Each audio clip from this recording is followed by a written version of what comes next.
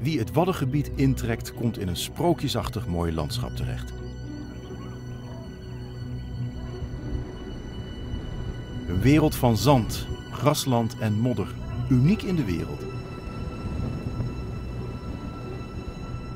Want nergens op aarde is er een groter aaneengesloten gebied van slik- en zandplaten te vinden. Het is het domein van de dieren, maar ook dat van de mens. Vaak gaat dat goed, maar soms is het ook een probleem. Dan ontstaat er conflict over het gebruik van de zee. Wie mogen er vissen? Hoeveel? Wanneer? Of wanneer juist niet? En gaat de bodem er niet aan? Dijken moeten worden vernieuwd, maar moet dat steeds hoger en steeds maar weer landinwaarts?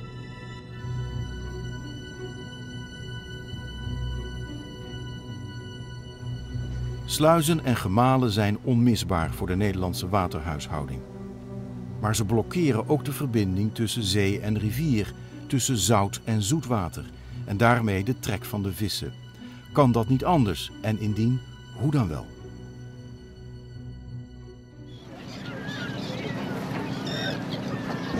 Nog geen 50 jaar geleden was de Waddenzee een zee van overvloed. Het was er rijk aan vis en schelpdieren.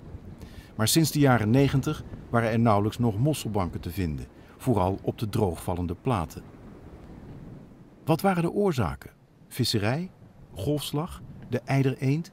Niemand die het precies wist.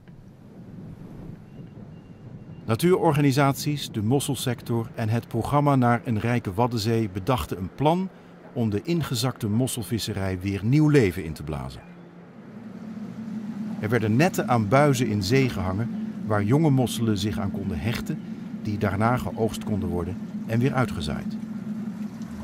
Nou, het vindt op deze manier plaats omdat we samen met de natuurorganisaties, de overheid en de mosselsector een convenant hebben gesloten om op een duurzamere manier mosselzaad in te winnen. Normaal gesproken visten wij het mosselzaad, die larfjes die zakken naar de bodem toe en dan kan je ze op de bodem vissen. Daar is wat controversie omheen en toen hebben we gezegd dan gaan we het op een alternatieve manier het zaad inwinnen en dat zijn de MZI's geworden.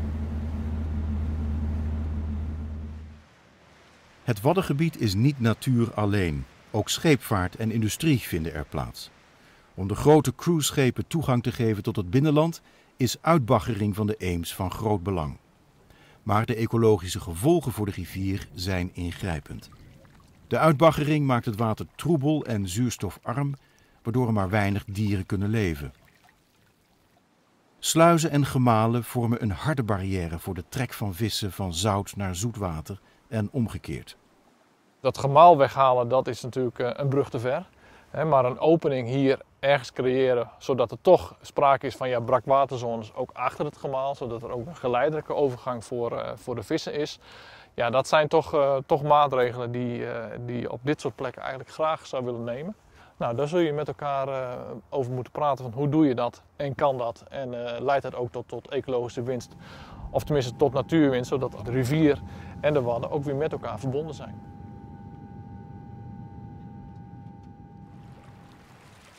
Waar water is, zijn dijken nodig.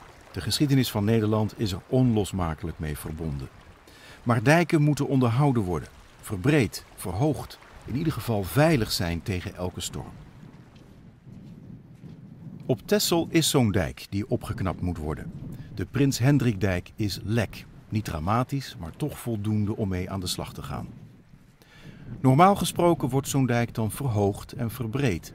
Dat gaat vaak ten koste van natuur en bewoning. Maar op Texel hebben ze wat anders bedacht. En toen zijn we op het idee gekomen om het niet binnendijks te doen, maar om het hier te doen, in de Waddenzee. We hebben heel veel hulp gezocht. Bij het Hoogheemraadschap wat de dijk moet versterken, maar ook bijvoorbeeld bij het programma Rijke Waddenzee, die verstand hebben van de randen van het Wad en hoe je die voor de natuur mooier kan maken. En we zijn tot een ontwerp gekomen waarbij hier buiten uh, in het water dus een, een, een, zanddijk komt. Een soort duinenrij van uh, 100, 150 meter breed.